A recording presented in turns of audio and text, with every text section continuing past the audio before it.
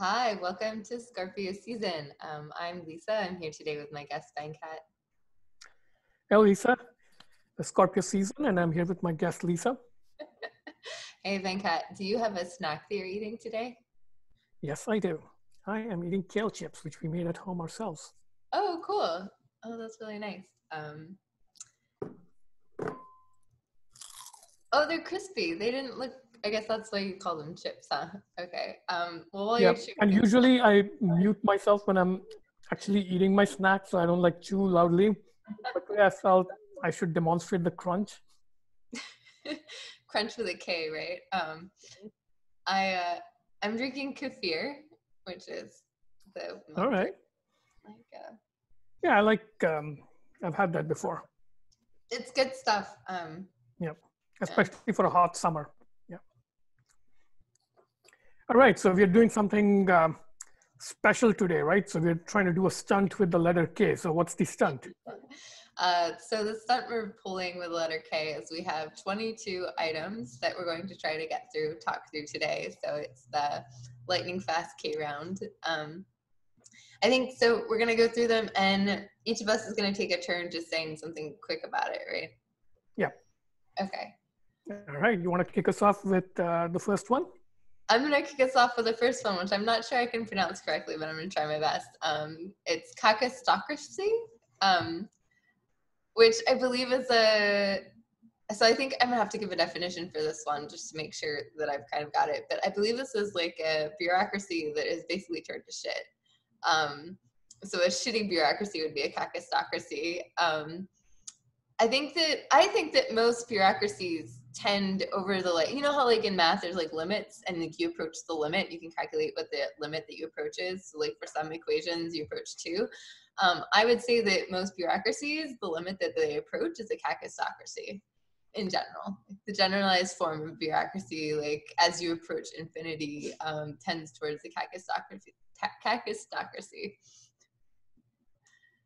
all right so say more than a definition. Okay you've defined it so give us a take on your on kakistocracy Oh, that's is that not a take? Like the every bureaucracy. Oh, okay. As the limit as you approach it turns into a shitty. Oh, okay. I thought that was part of a. Okay, yeah, that that's a take. So the definition and yeah. the take is the uh, asymptotic limit part. Um, mm-hmm. Okay, so uh, my take, uh, yeah, I just googled it to sort of refresh my mind. I thought the last time I read it, I, it said something like government by like basically. Uh, criminals or something, but um, Google tells me it's government by the least suitable or competent citizens of a state so least suitable or uh, competent. And uh, my take is going to be an example. So I'm just reading this book, A Distant Mirror by Barbara Tuchman on uh, the 14th century, so the aftermath of the Black Death. And one of the interesting things that happened is right after the uh, a major battle in the Hundred Years' War called the Battle of uh, Poitiers, I think, uh, in France between England and France, which England won, and then they kidnapped the King of France. So the government of France kind of fell apart uh, like the Dauphin, which is the sort of uh, uh, prince who's going to become the king in France. Um, he was an 18 year old sort of um, useless character who couldn't like do much, 18 year old.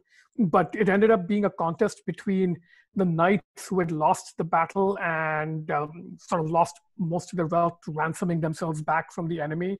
And on the other hand, the merchants who were sick of the currency being debased and uh, sort of uh, being used to pay for wars, and they were demanding reforms, economic reforms.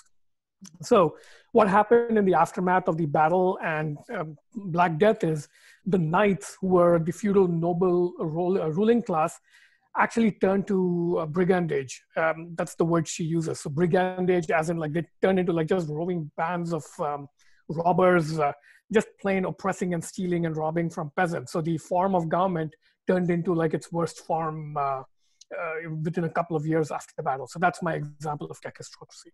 Right, moving on to the next one. What do we have here? We have yeah, KKK. The, the, KKK, which actually I feel like you just gave us a great jumping off point. Um, I feel like the KKK is, oh, so one thing that I found really interesting in Hannah Arendt's um, Origins of Totalitarianism is that when she, um, one like aspect of the Nazi party that was really important was like the levels of secrecy.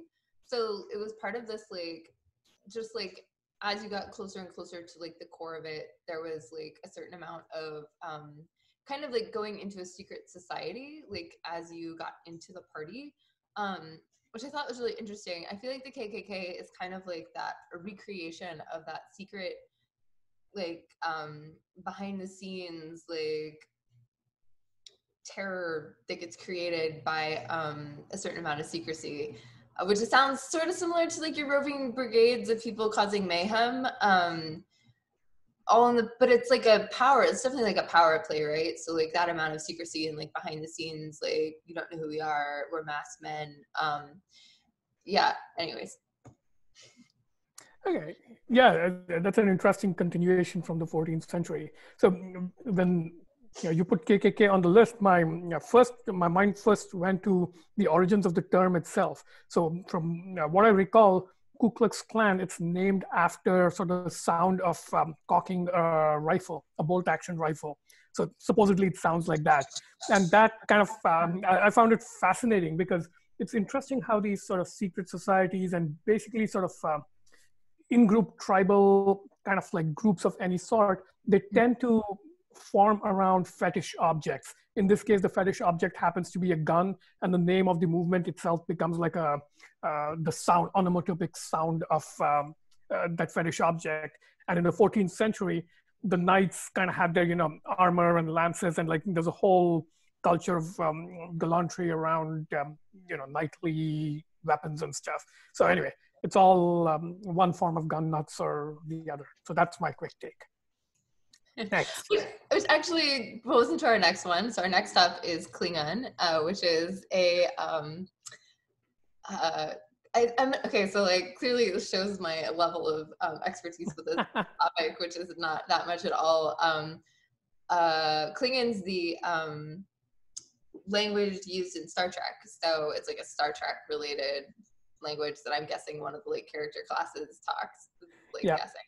Um, interesting thing about okay, so like interesting fact about Klingon is like at one point, so Klingon is like a um, it's a it's it's almost like it's so it's a language and it has like so there's people who speak it right? So like there's people who currently study and speak it and use it like a, a full language which is incredible because it's like made up right? Which yeah. says something about um languages that are not like made up but languages like the creation of a language system like the fact that it's complete enough that people can learn it and stuff um it's actually interesting. And there's a couple other fan languages that are also have this like characteristic. I believe one of them is like dothraki which is like the game of thrones um, yep. language. I think at one point i was tweeting about this and someone pointed me to an ai generator which will generate a fan based like language. Like it'll make up a language. Um, i don't know exactly what parameters you put into it but someone has like codified the process that you because like building an ai you have to like pick out the rules of language so someone has built like a language generation machine um, based off of like Leon and Dothraki, which I thought was cool. Yeah, that's um, yeah, that's fascinating because uh, from what I, I, read a long read about language creating these artificial languages, mm. and there's like people who specialize in it, like career specialists who take like 15, 20 years to like develop languages. So I'm kind of like skeptical how good an AI generated version of it would be compared to like something like Klingon, which experts spent like years developing. But uh, to continue with the theme you're riffing on, uh, two little uh, factoids. Apparently, more people speak Klingon than Esperanto, which cracks me up because Esperanto was like a, this serious effort to create a universal language, and this completely fake language coming out of a TV universe is spoken more.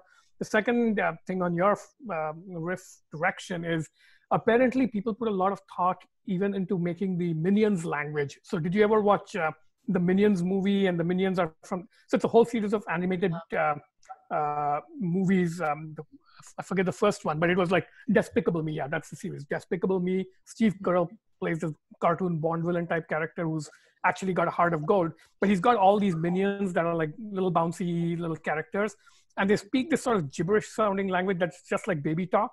But mm-hmm. apparently, mm, it actually is a sensible language. Like I read a whole article about yeah, minion language actually being a real language. So that's my first take on uh, Klingon stuff. But um, Klingon actually it has a closer connection to a previous topic than um, um, you uh, you might expect, since you don't seem to know the sort of background of the show. They're actually the strong honor society warrior race in um, Star Trek. So in the original Star Trek, they're kind of basically um, you know uh, knightly class of like uh, honor-based warriors. So they are that kind of race, and it's a very guttural, harsh-sounding language, which is kind of weird because if you look at human um, uh, ethnicities that have that kind of like strong warrior culture, they tend to actually have slightly melodious uh, uh, languages which are full of like you know music and stuff. So it kind of struck me as interesting that Klingon on the show has this guttural, uh, harsh sound to it. But maybe that's something I'm just making up. All right, so that's Klingon. Next, karaoke. All right. Next up is Speaking of musicality. More, yeah, more musicality. Um, I like. Okay, so I I I like karaoke. I don't do it very often, um, but it's always interesting to me to like. Who was I talking to? I was talking to a friend recently who um, who didn't like karaoke because oh gosh, I'm gonna totally blank on this. This is embarrassing. Um, it's an interesting. So like karaoke is an interesting um, social thing to do because like there's so like when you go out to karaoke with like a couple of friends um some of you are really good at it and some of your friends are usually like not very good at it and so it kind of becomes this like not like social pecking order thing but like a little bit of um like publicly displaying how good you are at singing a thing. Maybe i'm taking that the wrong direction but um i don't know. I'm like i'm blanking out here. Go ahead uh, i've never done karaoke and that's for a practical reason i think because i don't know any english songs well enough to sing. And uh, as far as I know, there isn't a karaoke culture around uh, Bollywood or Hindi songs. So, so you do need like a special backing soundtrack, right, to sing against for the vocals. So, uh, as far as I know, maybe it's uh, uh appeared since I left India, but as far as I know, it doesn't exist for Hindi music. So, I've never had uh, tried it. But to your point, yeah, I can totally see that happening where there's good singers and bad singers, and the job of the bad singers in like a group friendly outing is to make the good singers look good. So you kind of have to like um, take one for the team by providing the bad contrast. It's uh, kind of sad that's that's how humans work. But hey, other people get to show off in other contexts where other people don't shine as much. So that's good. That's true. Though I have to say, like, so I started taking vocal lessons really late in my well, late-ish, in my late twenties, um, and then went out to karaoke at one point of like it was like a first date kind of thing and I felt really bad about it afterwards because I've never been good at doing karaoke. I've always been terrible. Um, and so I got up on stage and sang and came back and was like, "Oh my god, you're such a ringer!" And I was like, very like, it was like I don't. So I still don't believe him if that makes sense. Like I think mm-hmm. I can't tell if maybe he was like trying to flatter me, but maybe I actually did sound good. And I felt really embarrassed about having made everyone else in this bar feel bad, or like sort of, and maybe I wasn't sure. It was like really stressful. So karaoke is kind of stressful sometimes. Now you're going to have to sing for us at some point on this show. I'm not making putting you on the spot right now, but you're going to have to sing for us at some point. At some point. yep. Okay. All right. Uh, so we're done with karaoke. Where are we now? Karaoke. Next is K cups. Um, so right. this is like so this is a coffee machine. This like this is what I referred to here as like coffee machine that come with like individual size little plastic containers, and you put it in the machine and push the button, and then you get a cup of coffee out. Um, I think that these okay. So I, I, I feel like my mom recently bought. So my mom recently bought a K cup machine, and this kind of blew my mind because they have a coffee maker at home, and I couldn't understand why she would want a single like personalized coffee maker um, to have at home. I guess like is this just like how Americans are, like consumerization, convenience? Like they just like the little like how much of the K cup existence is like in a very Amer. It feels very American um, if that makes sense. Like it's very convenient. Like you can, it's very individualized. Like you could have one machine and 10 people could use it, all get different types of coffee based on the coffee cup thing. It produces lots of waste. What do you think, okay? So I'm going to make this a show and tell because here I can actually show something. uh, I am curious to see what you're going to come back with, Venkat. So uh, I'm with your mom, and I don't think it's a particularly American thing because there are um, like um, European machines and stuff. But I am actually sort of um, not a coffee nerd, but I do have a bunch of different coffee making things. But my daily coffee thing is actually a Nespresso uh, Vertuo. So that's like a high end version of the K cup um, kind of principle. So this okay. is what it looks like. That's the capsule, if you can see that on the screen. And two things worth noting, like I'm going to draw it close up here, if you can see there's a barcode type thing around the rim of it. Do you see that? Yeah, I see yeah. it. It's really cool. And uh, this is a double espresso uh, capsule, but this is like aluminum. It's recyclable, but it goes into this Nespresso machine. That's like, I don't know if uh, if your mom's K-cup machine is like a horse-drawn uh, cart, like K-cups honestly make bad coffee. Like uh, the quality is like so terrible. I'd rather make my own pour over or French press or something. But this stuff is good. It's like really good. And um, so it's pressurized, it spins it at high pressure and produces a really good and consistent cup each time. And the reason for the barcodes is the machine is actually programmed to like brew at different temperatures and for different times with different amounts of water for each kind of coffee. So I have like a few different flavors lying around. So these um, cost about a buck a piece. So mm-hmm. they're like Starbucks grade coffee at half the price. So that's one way to look at it. Or if you're the Folgers kind, you can say they're like 10x more expensive than a cup of coffee at home should cost.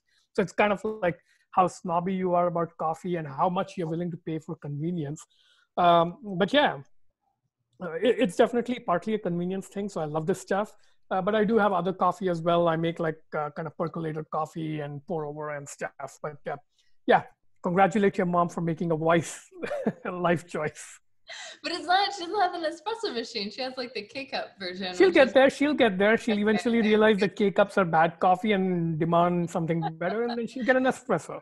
I, Buy her an espresso as a gift sometime. As I say, this is what I should have gotten her for Mother's Day, which was a few days ago. It's now. a good gift for people who like coffee. It's expensive refills, but K cups I think are like fifty cents, um, thirty to fifty cents, depending I think on the brand you get.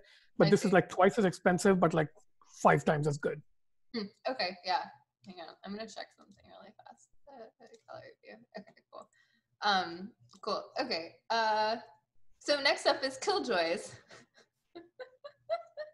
um, right. Which okay, so I want to take so I haven't really thought this through very much, but um, I think that like so I think you can kind of make like an interesting um, comparison. So Killjoy is someone who, in theory, pulls all the joy out of a thing, or like you're in a social situation and everyone's having a good time, and then the Killjoy says something supposedly or takes an act in some way in which all of the joy immediately is sucked out of the situation. Um i like okay so i kind of have this like working definition. So like i kind of want to like associate killjoys with cringe. I don't think it's exactly i don't think it like applies in every category but i do think that like to some extent like cringe sort of operates in a similar theater as killjoys because like so one working definition of i seem to be really into definitions today. Um one working definition of cringe that i have is um cringe is like the words that rot to silence. So like when someone says something cringe like there's not really like a usually like a cringe thing that's like hard to respond to. Um so I don't know. So I, like I would say that like cringe and killjoys are kind of like not two sides of the same coin, but definitely like siblings hanging out in the discourse, discourse siblings. I think I'll um, yeah, I think I totally agree with you, and I think I can see why they're related because both of them have this um, uh, sort of um, effect of puncturing a false consciousness that everybody's sharing and actually enjoying, right? So you have like say people i don't know like we just talked about like um, karaoke right? So that's a false consciousness bubble where people are just kind of validating each other's ability to sing. And we all know that mm, ordinary singers aren't ever going to be like grammy winning level singers but it's fun to pretend for an evening that everybody can sing.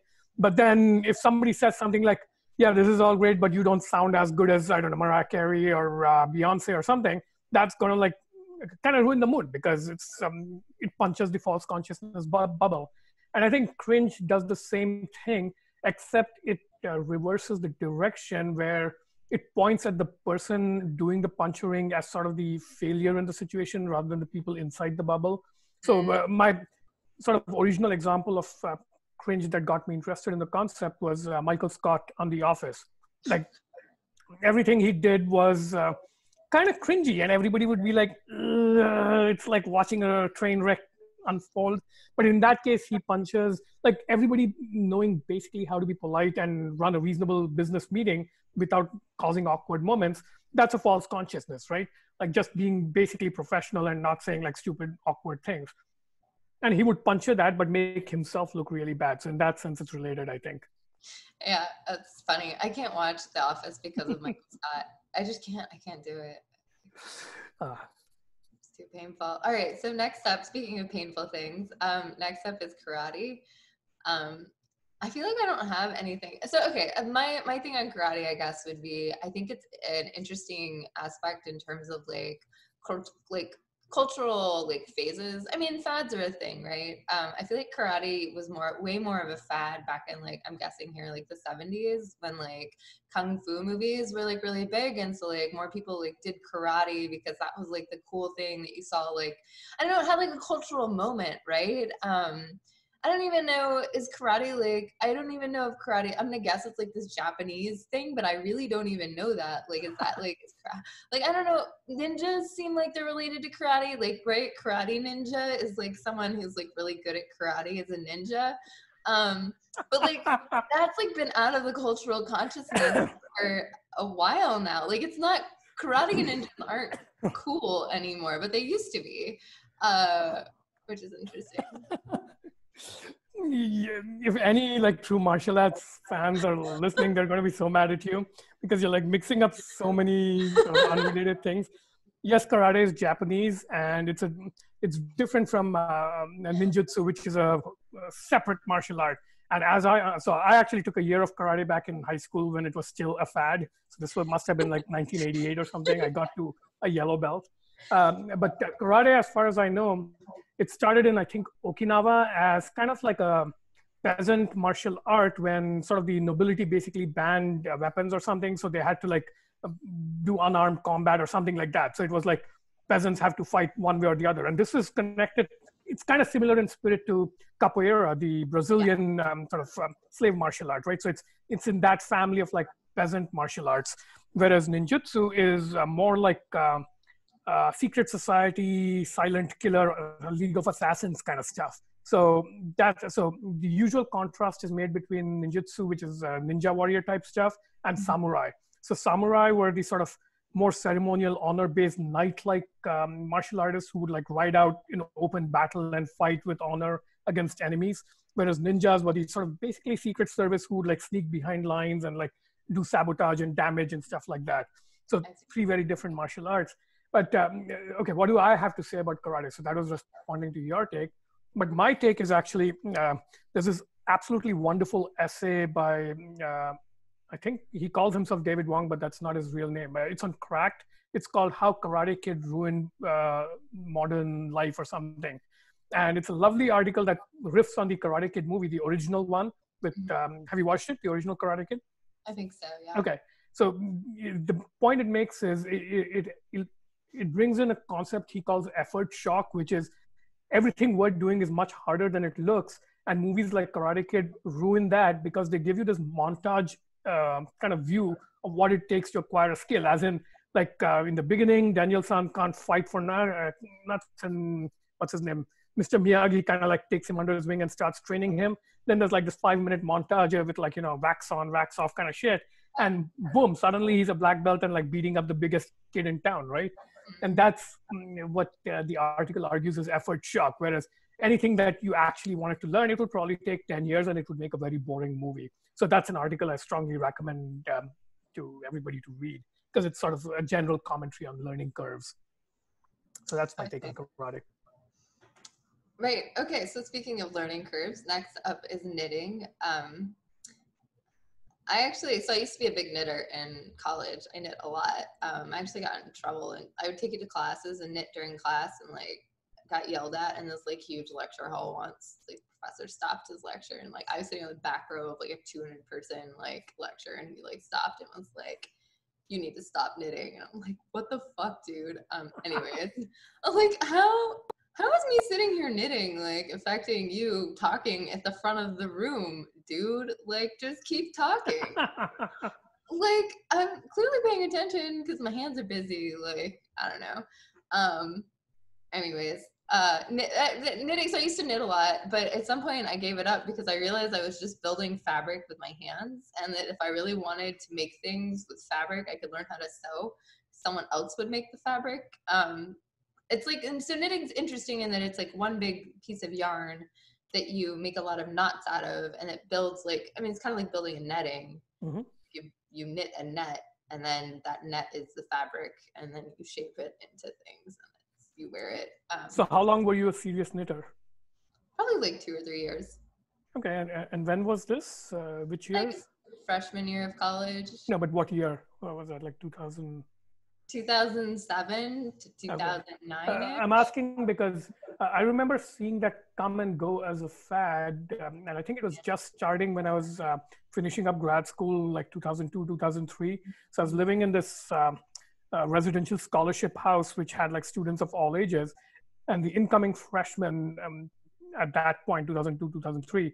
Uh, one of them was a young woman who would like sit around in house meetings knitting, and I was like, "This is an activity I associate with, um, you know, my old um, aunts and uh, you know mom generation. I don't expect um, young women like especially like several years younger than me to be doing this.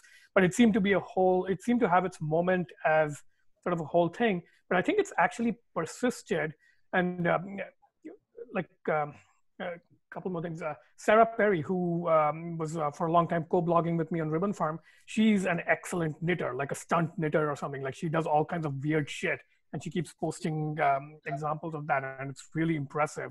So there's i think uh, even if all you want is the fabric so people who just want the fabric then they can move on to making clothes out of it or something.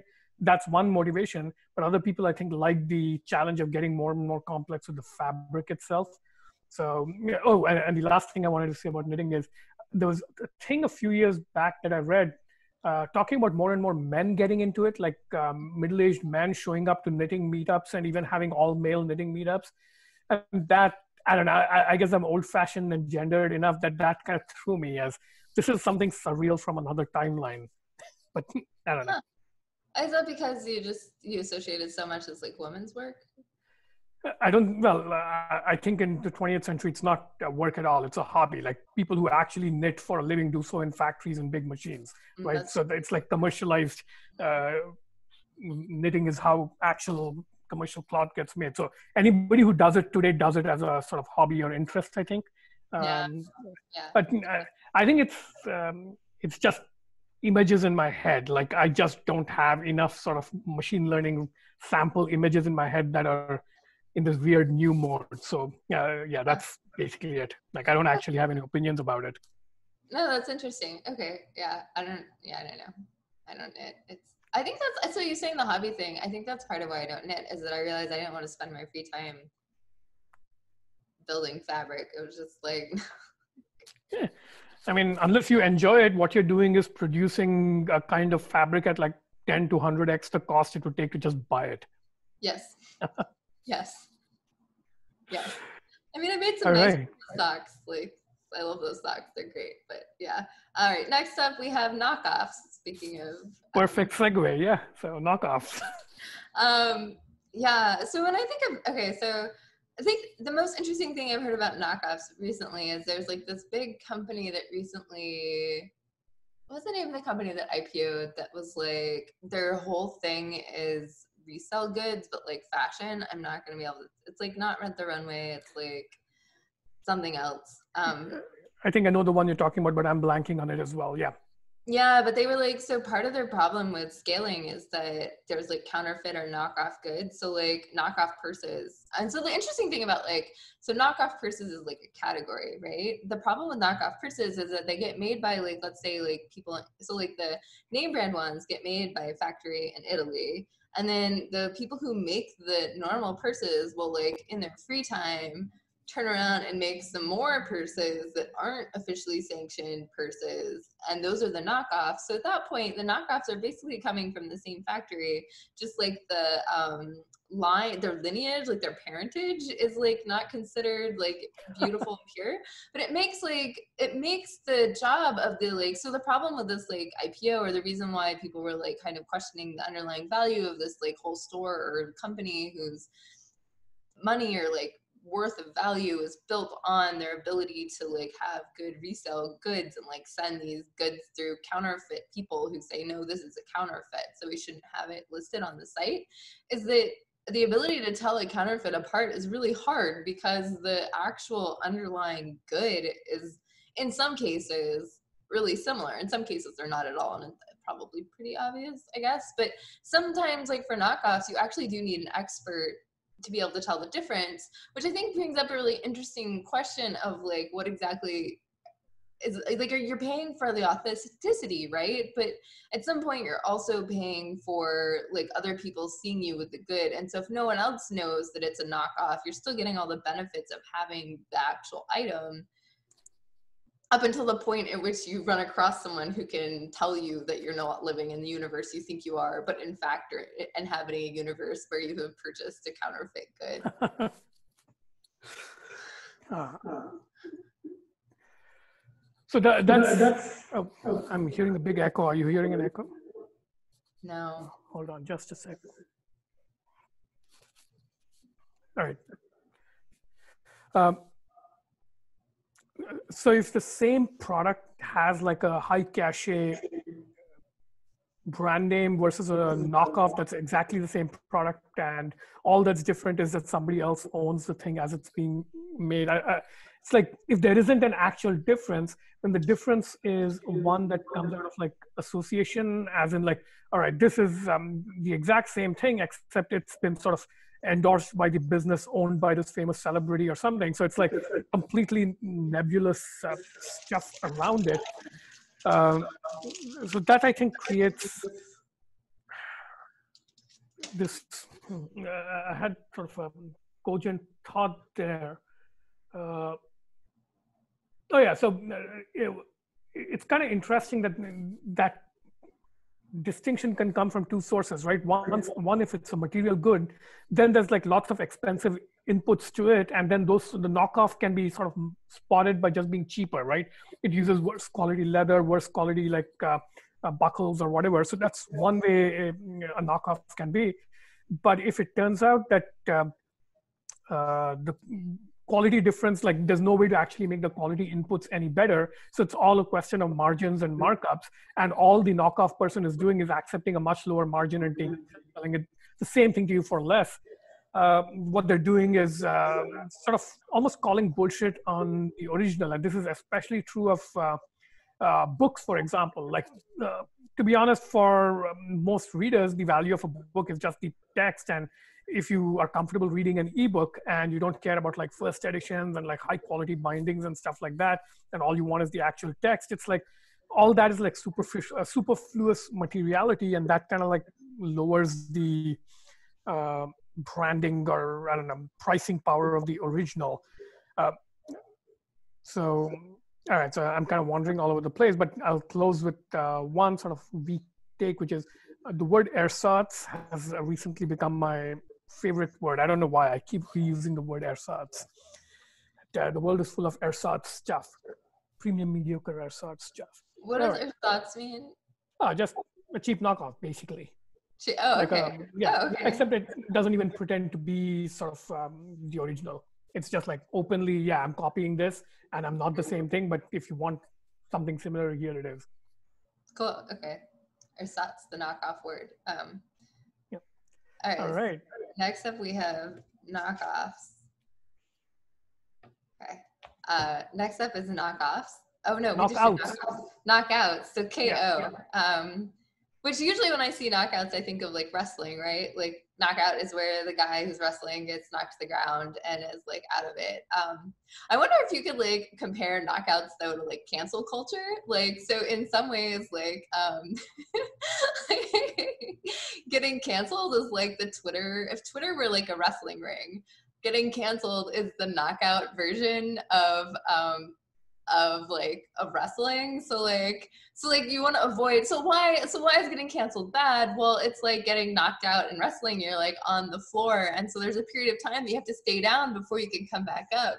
Um and like so like there's kind of a negotiation around like how long are you canceled for? Like um maybe this isn't exactly Twitter, but I know like Louis C.K. got canceled, right, for just being a pervert. And um, like he it, like he's like trying to come back now and everyone's trying to decide has he been on the has he been on the mat long enough like has has has louis ck spent enough time on the mat in knockout land um which i don't know it's kind of funny uh, though there's a distinction though, right? Because in a knockout in a wrestling or boxing match, you can't get back up. Like in a, I, I don't know about wrestling rules, but in um, boxing, when you're knocked out, the uh, countdown to 10 or whatever that the referee does is literally to see if you can get back up within the time. And if you can't, he declares the match gone. You've lost it because you're literally like uh, dazed to get back up.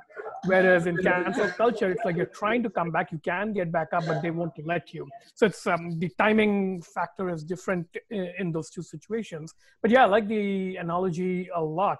And uh, the way I would sort of uh, apply the more strict analogy to uh, boxing or wrestling knockouts is if you're if you're say a comedian and you get canceled you might get like truly knocked off. Like people might have like too much distaste for you to let you back in. So that's literally being knocked out right? Even if you want to come back you can't. And um, if if uh, you're knocked out in that canceled sense for long enough the culture shifts under your feet. Like you know stand up we were talking about this last time like stand up comedy culture goes through eras and like different eras of comics have different approaches. So if you're a comic who's been knocked out for long enough that the era changes under you and now you're obsolete, that's um, kind of a true knockout. Like you've been knocked out of the game altogether. So that's like the um, you know boxing game ending. So that's yeah, all right. All right. Next up, we have kites. Um, so opposite of knockout, flying high. Um, I don't really think I have a whole lot to say about kites other than the fact that I've flown some as a kid on the beach. Like there's like so there's like a couple different kinds of kites, right? There's like the single string ones, which are like fairly simple, and then there's like the more complicated, like two handled ones that I feel like my biggest like memory of two handled kites. So there's like two strings, and so by pulling on them, you can make them do tricks in the sky because uh, you kind of play off the tension of the wind. And I feel like the the usual end case for that like two handled kite maneuvering is like plowing towards me at like a million miles an hour because whoever's operating it has like lost control of the two things. So they like tend to plummet towards the earth in like a super stupendous quick fashion. I don't know. Kites ah, so a little bit terrifying kites i think we have had very different experiences with them. You're talking about like really fancy high-tech american kites that are usually made of plastic and are meant to be like stored and kept for like a long time. Like you buy it as like a toy and it's like a durable object. Uh, yes. growing up in india kites are uh, kind of like a part of like traditional culture and typically you have these extremely simple like square kites that are made of very thin tissue with like um, very fragile wood frames and you might buy like um, half a dozen at a time. And they're kind of meant to be disposable. And these are really cheap like even growing up by indian standards. Uh, so they'd be the equivalent of like um, 25 cents. So 25 paisa was actually like less than a penny.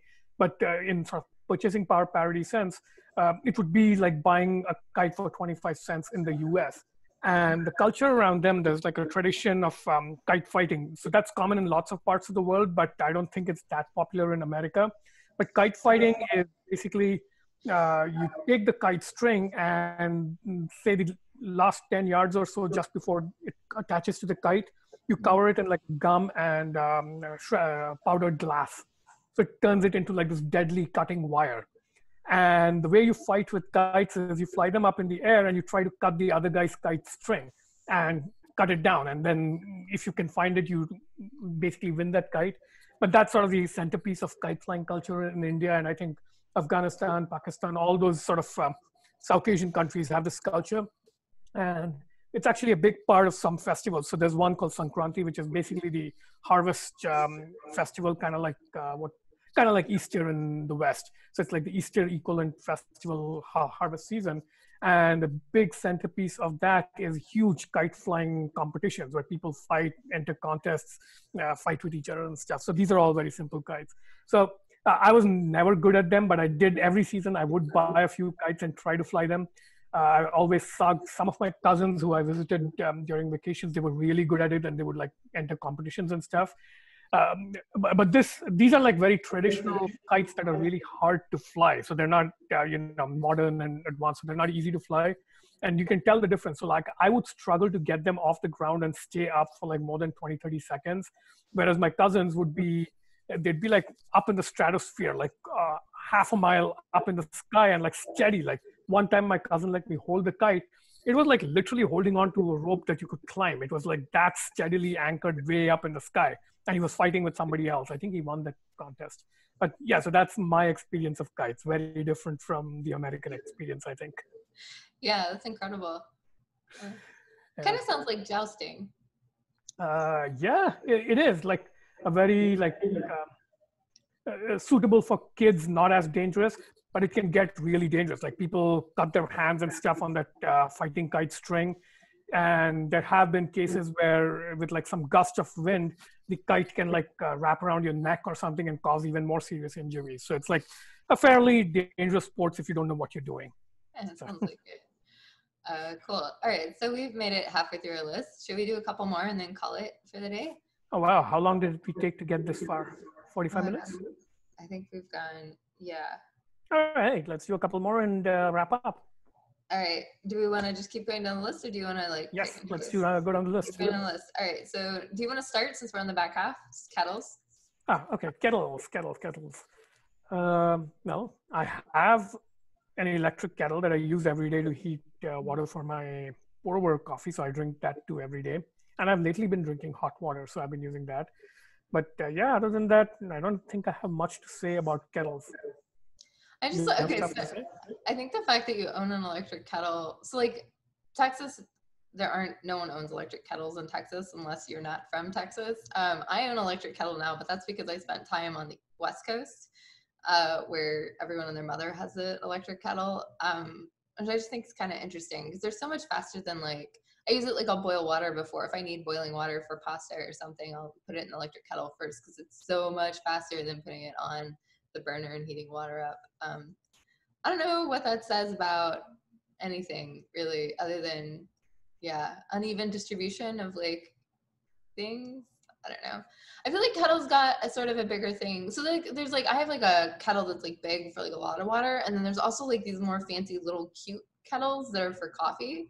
And you you don't you wouldn't really use a coffee electric kettle for boiling water to put in pasta because like the amount of water you need doesn't work out. Um, maybe yeah. East coast i feel like east coast electric kettles are like the fancy coffee kettles. West coast electric kettles are the um like big i'm gonna make a bunch of tea or a lot of water in general. Might be wrong about that but um, just bullshitting. I think i've seen all kinds. Of kind i have actually was made specifically for pour over coffee so the mm-hmm. japanese hario style so but it yeah. makes quite a lot so i can fill up my flask in the morning as well.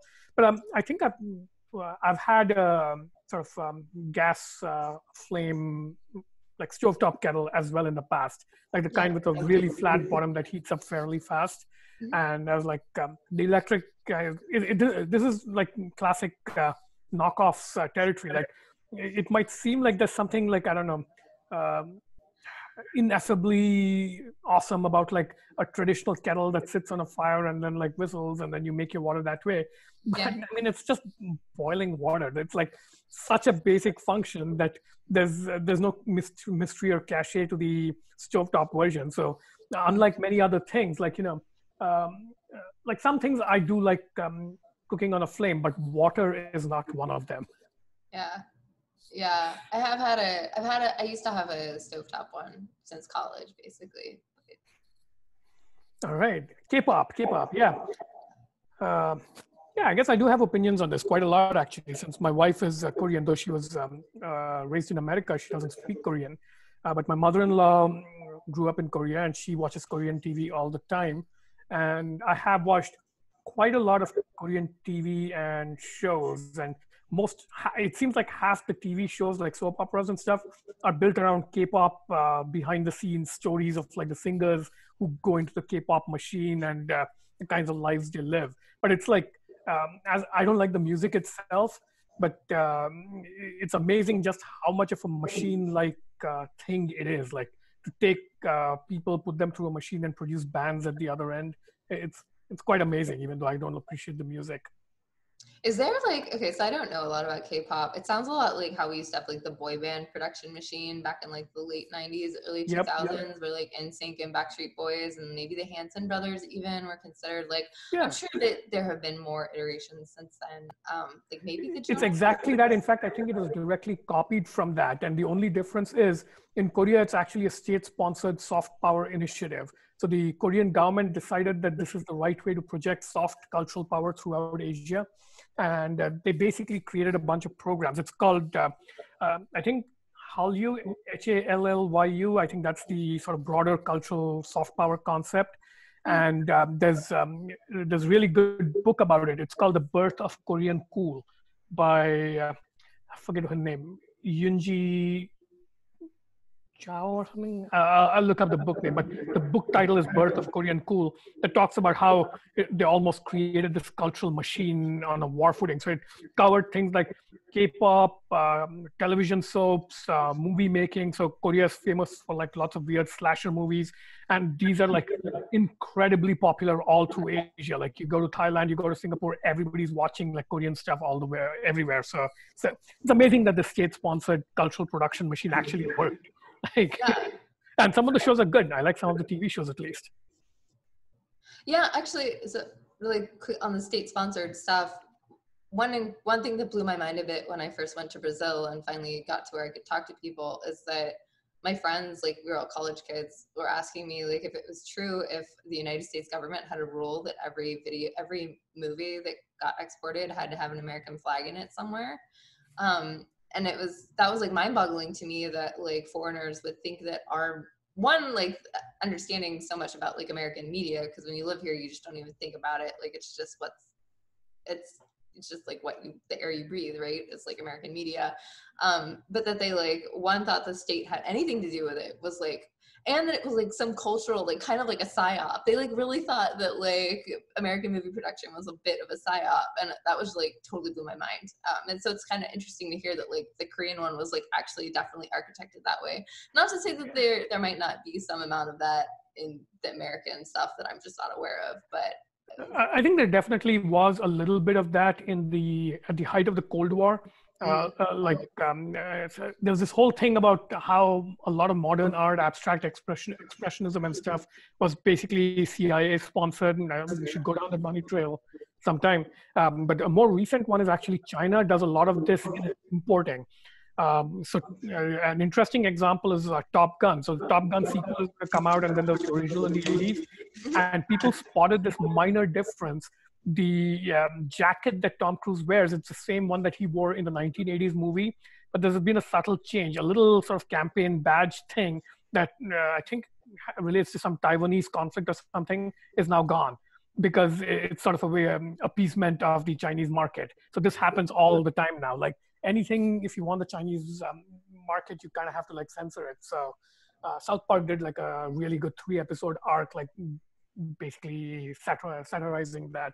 But yeah, so it, it's I think if you're a superpower, you definitely do it whether you want to or not, and it can be deliberate or conscious or not. It's interesting to see a small country like Korea do it. That's kind of, and especially do it so well that it works across an entire continent with much larger countries. So yeah, all right, should we stop there?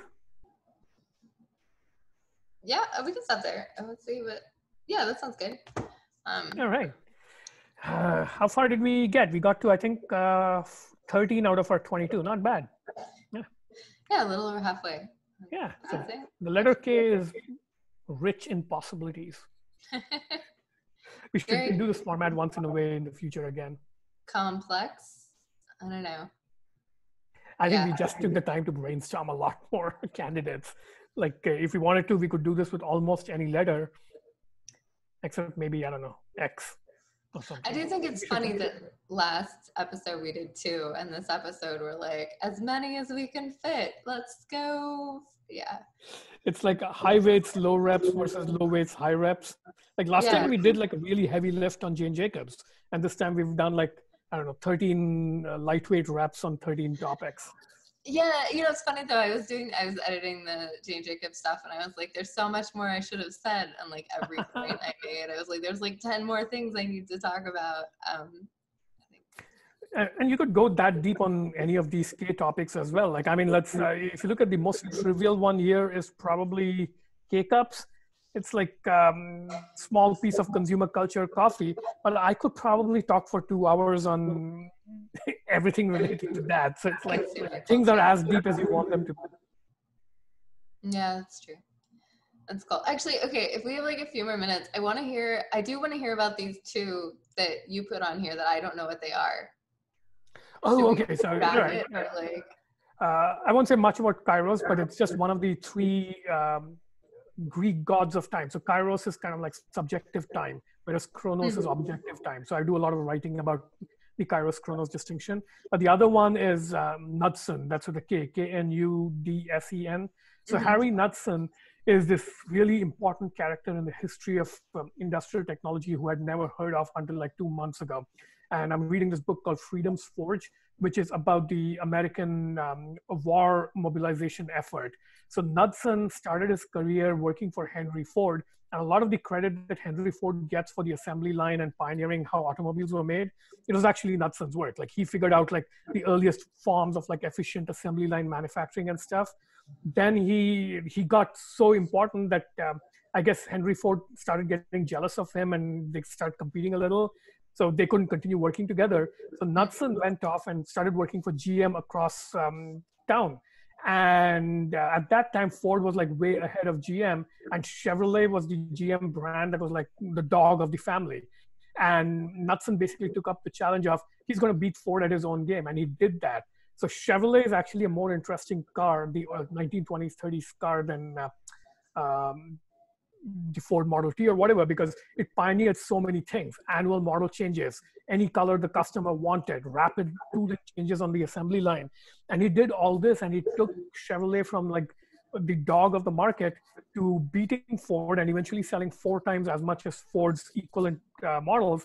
And it took till 19 the mid 1980s before Ford um, like had pulled one ahead of uh, Chevrolet. So that was like a huge victory. And I think Knudsen is like way more interesting a character in the history of automobiles uh, than Henry Ford. But if, if that had been the only thing he he did, he would still be a massively interesting character. But that wasn't even the most interesting chapter of his life. So he rose to become the president of GM, and um, by 1938 he was like the titan of the industry. But then World War II broke out, and uh, Roosevelt basically called him up and said, "Hey, I want you to run the American war mobilization effort." So he was the guy who basically thought through and figured out how to completely mobilize the American economy and build everything from tanks and aircraft engines to like uh, socks for soldiers and uniforms, everything. So at one point, Knudsen was running not just most of the American economy in service of the war production, he was actually running most of the British and French uh, war production efforts as well, because by the time Britain and France were already sucked into the war, they couldn't produce their own stuff. So they were like shipping all their gold uh, to pay for American production of the armaments they needed. So for a couple of years there, Knudsen was like orchestrating an effort to meet the entire rearmament needs of the US while meeting civilian needs and fulfilling all the war contracts that Britain and France needed to continue fighting. So really impressive um, guy, and he kind of did this, and nobody's ever heard of him, and everybody's heard of Henry Ford. So yeah, that's why I put him on the list. It's cool. kind of like so. There's it kind of reminds me of like the Steve Jobs Wozniak sort of sort of thing, and that like Wozniak was like the technical genius, and like Steve Jobs is like the marketing genius. I guess we can call him that. Um, Though in that case, I would say they both get appropriate amounts of credit for their roles and uh, thing.